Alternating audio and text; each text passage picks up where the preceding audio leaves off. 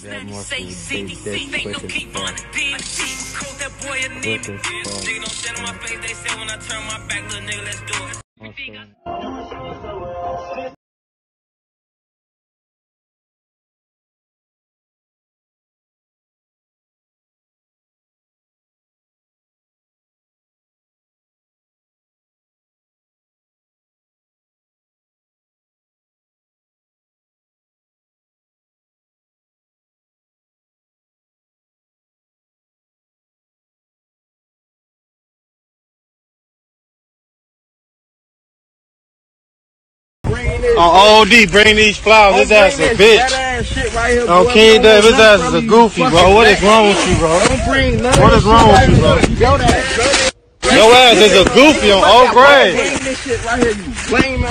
Lame ass nigga on O.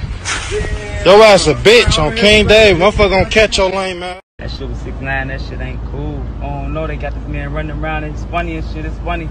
Yeah, that shit funny as shit. That shit ain't funny, gang. This man, cause it's like this. I don't know the nigga, gang. I don't give no fuck about the nigga six nine. I don't know. But he told him all type of people, gang, and they, and they people locked up and shit, and, and, and people family members and shit. And people gotta take care of them people. And them people got kids, and them people, you know, you know, it's like he done told him. To heard he told on a lot of people, like so. I know it's people like he probably ain't did shit to him, and he told on them and shit, like you know for them. They thought it like some people I know everybody ain't did nothing to six nine. You see what I'm saying? So whoever did, whoever did, cause y'all be saying, "I they fucked this baby mama." Ooh, alright, that's one nigga, gang. Okay, heard that nigga told on all type of niggas. See, that don't justify either. Man, niggas fucking this baby mama all day, every day. That shit don't. That shit don't. Nah, that shit ain't it. That's what about them other people like like I I I he did that he did that well. Damn, now who gonna take care of the kids? Alright, shitty boy. We're gonna be there. We're gonna be there right now. Alright, shitty boy. Okay, shitty boy.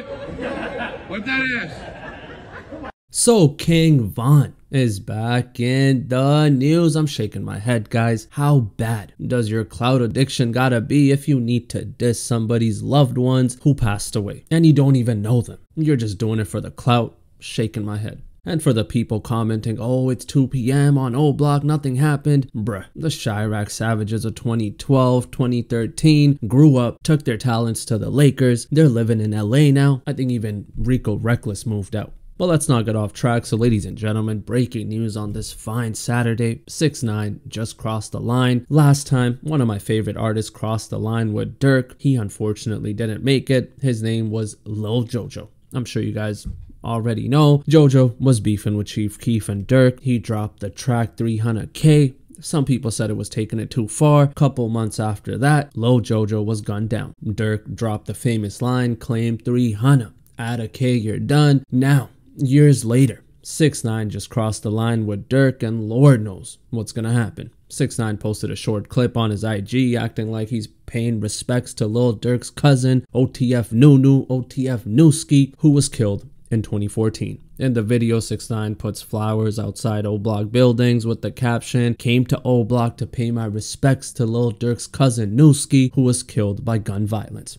Few hours later, some of Chiraq's savages converged on the scene, but only found the flowers. 6 9 was nowhere to be found, saw the video, and decided to address the situation. He said this shit with 6 9 is not cool. They got this man running around thinking it's funny. This shit is not funny. I agree with King Von. What 6 9 did was not funny bringing Lil Durk's dead cousin into the beef. That's just not cool. You cannot do that. That's why Lil Durk hasn't responded. Hopefully somebody talks some sense into 6 9 because clearly he's doing too much. Bro needs to settle down. I'll keep you guys updated if there's any developments. Thank you so much for tuning in. Your boy Alfred out.